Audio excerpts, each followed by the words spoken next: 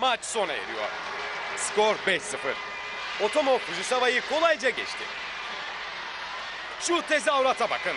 Evet, şimdi de Nankatsu takımı sahaya geliyor. İşte beklenen an geldi. Yaşasın Nakatsu!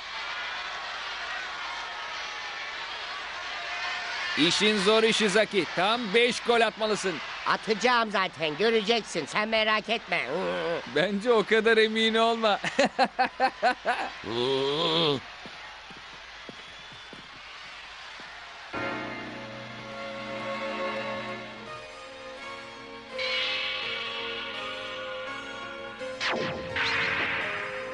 Tsubasa Ozora'nın korkutucu bakışı bu mu?